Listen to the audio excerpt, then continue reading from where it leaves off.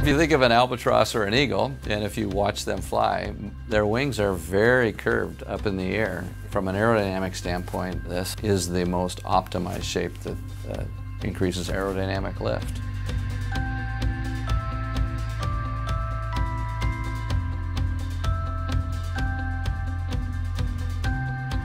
If you think about gliders, you look at that wing, it's all about staying in the air.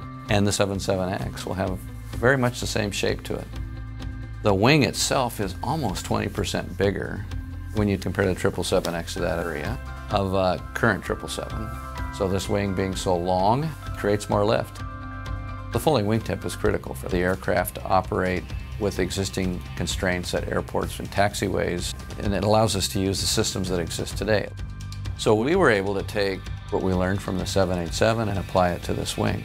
The composite material allows more flexibility. This wing being so long, this airplane will love to fly.